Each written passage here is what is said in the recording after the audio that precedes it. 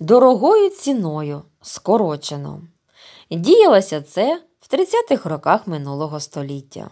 Українське поспільство, поборене в класовій боротьбі з ярмом паншізняної неволі на шиї, тягло свою долю з лохим ремством. То не віл був у ярмі, звичайний господарський віл, якого паша і спочинок могли зробити щасливим. Ярмо було накладене на шию дикому турові, загнаному, знесиленому, але овіяному ще степовим вітром і з невтраченими ще смаком волі широких просторів.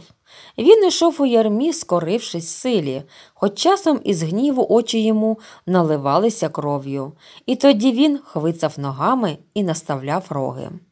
Вільний дух народу ще тлів під попелем неволі, свіжі традиції волі, такі свіжі, що часом трудно було відрізнити сьогодні от вчора, підтримували жевріючи під попелем іскру. Старше покоління свідок іншого життя показувало ще на долонях мозолі від шаблі, піднятий в оборону народних і людських прав.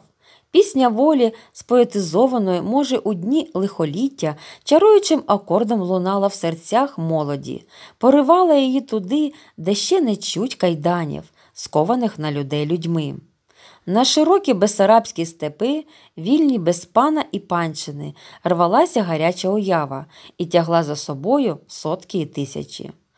От хоч би там за Дунаєм, гей там за Дунаєм, ярами, коритами висохлих річок, лісовими нетрями, прикриваючись нічною темрявою, ховаючись, мов од дикого звіра, тікало от пана і панчини все, що не заплісніло в неволі, не втратило ще живої душі, тікало, щоб здобути собі те, за що предки виймали шаблі, спіхов або ставали до бою з кіллями та вилами.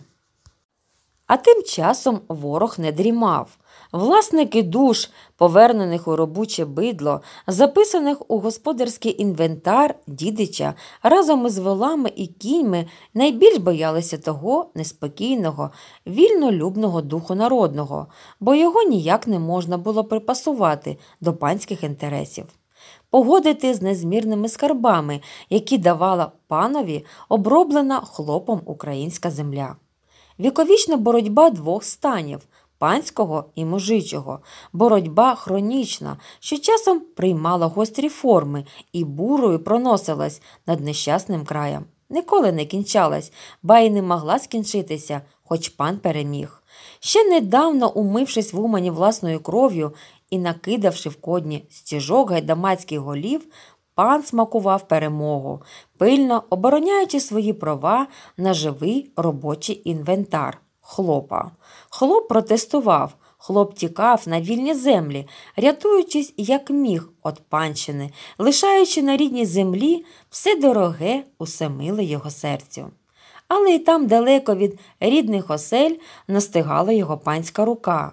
На півдні Бессарабії, від бистрого пруту, по лівім боці Дунаю аж ген до моря стояло на чатах військо і заслоняло волю, що там за широким Дунаєм, за зеленими прибережними вербами синіла десь у чужій країні. Голову втікача оцінено. За кожного спійманого прибережні козаки діставали плату. Сотки тисячі нещасних попадали до рук козакам і мусили випити гірку до краю. Лиха доля чекала втікача, його отдавано в некроти, засилено на Сибір, катовано канчуками, тавровано, мов худобу, або з оголеною напівголовою, збитого, збасаманеного, отсилено в кайданах назад до пана, знов у неволю на панщину. Чого він міг сподіватися вдома від пана? А проте, мов талії води під теплим подихом весни, річкою текло українське селянство туди, де хоч дорогою ціною можна здобути бажану волю, ані то полягти кістками на вічний спочинок. То ти, Остапе, я Соломіє, що ж воно буде? А що ж буде? Хай воно загориться без вогню і диму. Утечу, піду за Дунай, може, ще там люди не пособачились. От бачиш, Сакви, бувай здорова, Соломіє. Тікаєш, покидаєш мене. Я оце лишуся сама з тим осорожним чоловіком. Ні, тікай, тікай, Остапе, коли б ти знав, що робиться у горницях.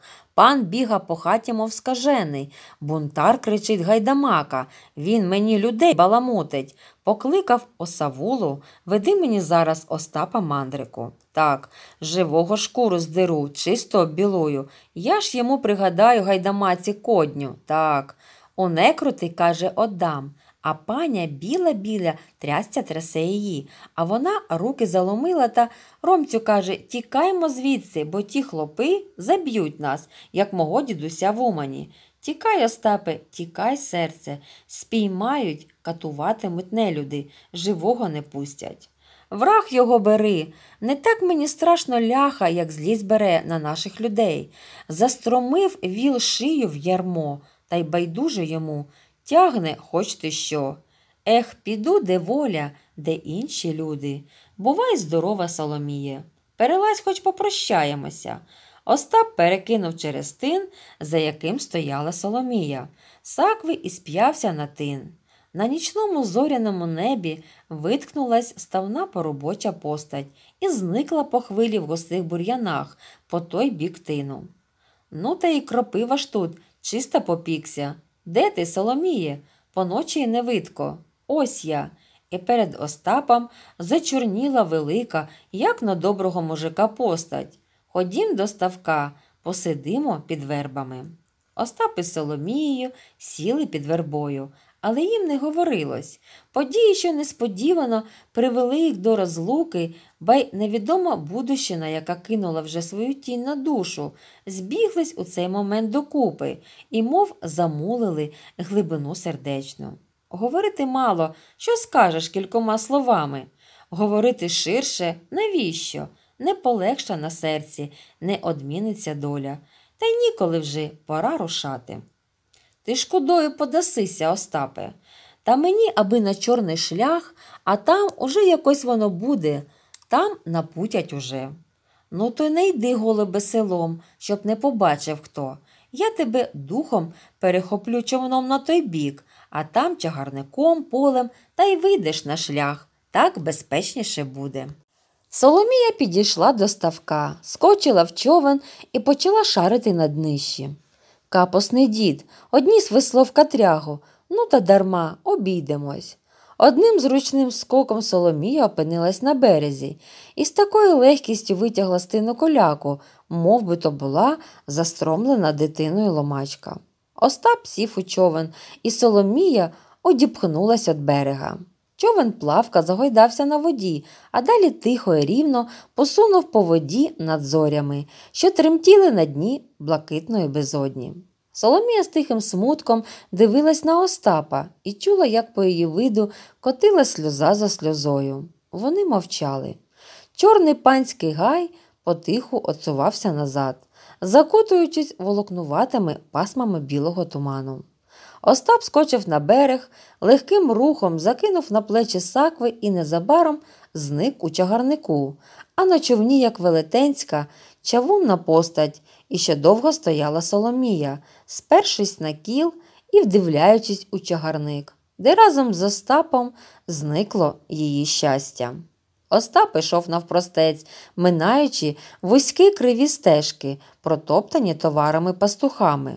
Одійшовши кілька гоніб, Остап зупинився і озирнувся.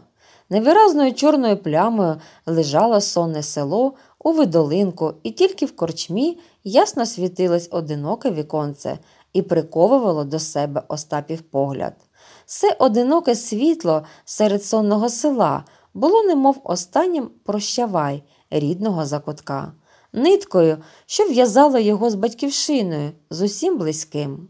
Але за хвилину віконце згасло, і Остап почув, як разом із зниклим світлом у його серці щось урвалось, і село геть отсунулось від його. Остап непомітно для себе зітхнув і рушив далі. Чи то під впливом прощання із соломійних сліз, чи внаслідок реакції по пережитих турботах його обгорнув жаль. Чого саме було жаль, він не міг би сказати та й не думав про те. Так просто жаль, стис за серце. підступив до горла. Якась струнка сердечна бренькнула, зачеплена тим жалем, а чагарів та знив. Таких рідних і милих він це почув зразу. Натовпом зняли з давні згадки дитинства, неясні, невиразні, але вимагаючи частини серця для землі, яку він покидав тепер навіки може. Кожен кущик, горбок, долинка, кожна стежечка, усе це було йому знайоме, промовляло до його. Тут, у товаристві однолітків пастушків, заводив він безконечні грища. Тут він пас панську худобу, панську, тим то й бачу панську. Та й хіба він сам за весь свій двадцятилітній вік не був лишень панською худобою? Хіба його батько, мати, Соломія, навіть дідусь його, що ходив у Січ, а потім різав панів в? Хіба ж вони не стали такою худобою? Коли б вони не були панським товаром, то не міг би пан розлучити його із Соломією та силою отдати її за свого хурмана. Не міг би сивого дідуся катувати на стайні нагаями, не похвалявся б оббілувати Остапа за сміливе слово. Оббілуєш, злорадно усміхнувся Остап до себе. Шукай вітра в полі. Коли б хоч дідусеві нічого не сталося через його, та що йому станеться? Він уже старий, не сьогодні-завтра покладуть у яму. На згадку про діда Остап почув, що степле у грудях, ті билиці, казки про січ, козацтво, про боротьбу з панами за волю, яких він слухав, затаївши дух і не зводячи розжеврілого оказу з дідових, будили в дитячій голові химерні мрії, вояцький запал.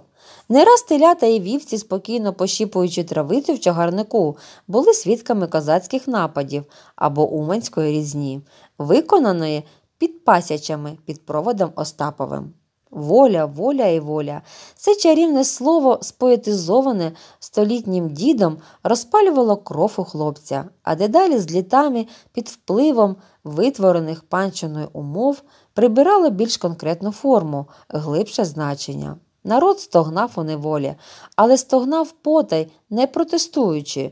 І коли Остап, вихований дідом у давніх традиціях, здіймав річ про те, що пора вже висунути шию з панського ярма, люди спочували йому, але далі з почуття діло не йшло. Знайшлись навіть такі, що вклали панові вуха бунтівничі речі молодика. І от тепер Остап, скривджений і цькований, мусив кинути рідний край. Тим часом темна блакить нічного неба почала потроху бліднути. Зі сходу дихнув вітрець і овіяв Остапа. І враз Остапові зробилось весело і легко. Він почувся на волі. Молода, невитрачена сила хвилею вдарила в груди, розлилась по всіх жилах, запрохала на волю. Остап зірвався на рівні ноги і не пішов, а побіг далі. Йому хотілося гукнути на всі легені словами пісні або хоч крикнути, взяти отак щось у руки велике, міцне і зламати його, але він здержався. Він ішов тепер прутко, сильно вимахуючи ціпком, мов усю силу свою молодечу вкладав і в ту ходу, і в рухи, а думки одна за одну, як на крилах, летіли все наперед. Не так думки, як уява. Уявляється йому Дунай, широкий широкий, ну як Дунай широкий, за Дунаєм Січ. Басують під козацтвом коні, мов змії, ті повигинали шиї. Козацтво, як мак, жупан червоний, вуз чорний, довгий, при боці шаблюка. Попереду, попереду Остап, кінь під ним гарячі ворони, той, що в пана лишився на стайні. Одіж із щирого срібла золота, шабля довжезна. Він оповіда козакам, завіщо пан хотів його обілувати, яка повелась тепер у них неволя в Уманщині, що треба піти і визволити народ із неволі, потішити на старість дідуся і одняти Соломію від її чоловіка, бо вона не хурмана панового, а його Остапа кохає. Козаки вклоняються йому, пускають із копита коні, кидаються в Дунай, перепливають його, а далі мчаться Остап попереду через луки і поля до них у село, в Уманщину. Чи бачиш Соломіє? Остап вийшов на шлях і озирнувся. От далеке щось манячило на шляху, немов який подорожній, з клунками на плечах, плентався шляхом від села. Тільки Остап звернув із дороги, як йому причулося, що щось немов гукає. Він озирнувся, прискорюючи ходу. Подорожній махав на нього рукою, бажаючи очевидьки спинити його. Що за мара? Першою думкою Остапа було тікати. Але, зваживши, що поки він один на один, жахатися нічого, Остап зупинився, очікуючи і вдивляючись у подорожнього. Був то молодий безвусий парубок, міцно збудований у високій сивій кучмі, короткій чугаїнці з довгим ціпком. Остапові було чудно, що парубок немов усміхався, але коли той наблизився і привітався до нього, Остап із несподіванки скрикнув Соломія, чи ти здуріла? Може, і здуріла, сміялась Соломія. Пек тобі, Маро, чисто парубок. Куди ти і пощо? За Дунай у січ із тобою. Приймаєш, товариша, чи не приймаєш? Чи ти зневісніла, молодице, чи тебе нині жарт узявся? Які там жарти? Скоро ти пішов, як я стала на човні, так і задубіла. Холодна, холодна, мов завмерла. Далі прокинулась і чую, що все мені противне, все гидке, і чоловік, і панщина, і життя моє безщасне. Пропадай воно все пропадом. Піду і я світ за очі. Уже ж за тобою, хоч серцеві легше буде. Та чим душ додому за торбину, вкинула, що треба на дорогу. Тільки, думаю, пан ловитиме нас, але я не дурна. Дідька з'їсть, що спіймає, метнулась до комори, зняла з жертки сорочкою штани. Тоді спідницю з себе штани на ноги накинула, на плечі чугаєнку, а на голову шапку і козак козаком. Шукай тепер, пане, парубка з молодицею. Ніхто не бачив, лиш двох парубків зустрічали. Що ж мені з тим, що скинула діяти? Покинути боюся, догадаються ще. Узяла своє під пахву, побігла до ставка, прив'язала камінь і шубовстю воду, вічна пам'ять. А тоді селом та на шлях та біжу, біжу, щоб догнати. Ху, як ухекалась. Що ж, приймаєш парубка в товариші чи ні? А що ж я робитиму з тобою в січі, гей? Остап посміхнувся. Він властиво радий був Соломія, лише ота несподіванка збила його з пантелику. Сонце було низько, так у два чоловіки від землі, коли Остап прокинувся. Він хотів збудити Соломію, але лиш глянув на неї, як схопився за боки від шаленого реготу. Ха-ха-ха, от козак, розкозак, реготався Остап. Ха-ха-ха. Той регіт збудив Соломію. Вона схопилась і, протираючи очі, здивовано зиркала на Остапа. Ти чого? Продери, продери очі, ха-ха-ха. Бачу вже, та чого ти?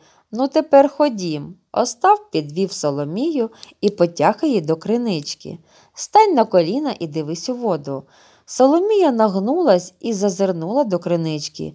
Звідти глянула на неї свіже повне обличчя з карими очима, що так виразно біліло при картатому очіпку і пасмах чорного волосся, що під час сну повисмикувалась із під очіпка.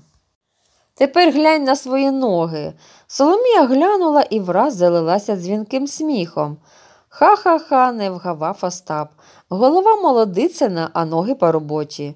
Вони роготались, мов діти. Вона тонко і дзвінко, як молода дівчина, він грубше, передчасним баском двадцятилітнього парубка. Що ж воно буде? спитав перегодом Остап.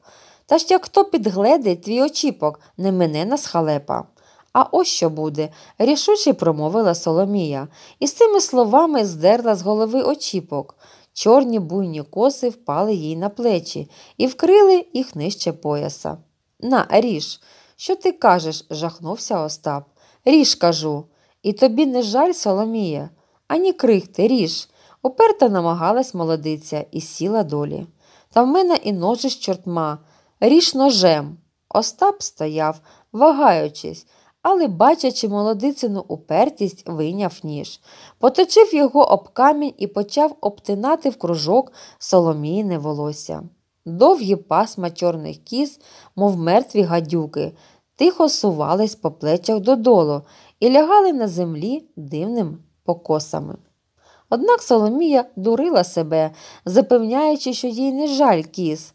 Як тільки ніж шурнув по волосю, і до ніг Соломійних упало перше пасмо кіз, вона почула якийсь біль у грудях, щось стисло за серце і на очі набігли сльози. Робота була скінчена. Остап отступився від Соломії, щоб здалека краще придивитися до своєї роботи. А Соломія, мовчазна і замислена, сиділа долі серед обтятого волосся і вдивлялась кудись у простір. Заходяче сонце червоним світлом осявало всю картину, його стрункого і міцного з чорними очима, орлячим носом і темним молодим вусом на засмаленому обличчі, і її, що в образі білолицього чорнявого хлопця дивилась у простір засмученими карими очима. Ну, пора нам рушати. Гей, ти, парубче, як тебе звати? Семеном чи як? Про мене Семене, зітхнула Соломія і знялась із місця.